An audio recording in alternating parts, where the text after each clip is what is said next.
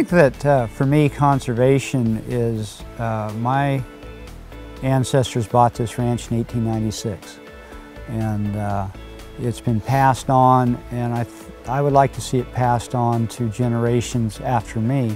And in order for that to happen, I think you need to um, pass that land on better than you found it.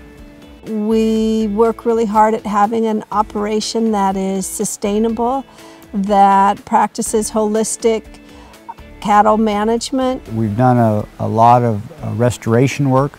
Uh, all the uh, uh, road systems on private road systems on this ranch have been upgraded. We're defining a new model of conservation and I'm excited to be in California where we can continue to have those proactive opportunities to build conservation, be able to engage with the public and to engage with our legislators and to be able to engage with our stakeholders. You know, I, I think for myself, I'm, I'm really quite humbled by it because you know, Dina and I have been involved in, in, a lot of different things and I think we've made a positive difference, but I don't know that how unique we are. I think that mm. there are an mm. awful lot of people out there that, that are doing, you know, just as good a work as we are.